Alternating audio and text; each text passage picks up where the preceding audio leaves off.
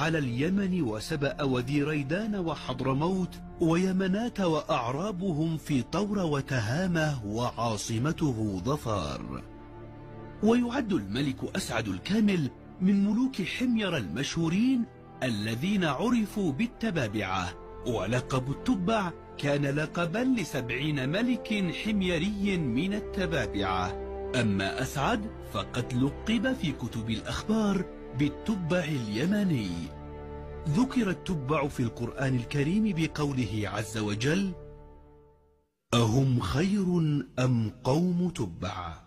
لكنه اشتهر باسمه أسعد الكامل والذي ما زال عالقا في أذهان أهل اليمن إلى اليوم وينسبون إليه كل قديم. ولد الملك أسعد الكامل لأبويه ملك كرب يهأمن والفارعة بنت مهيبل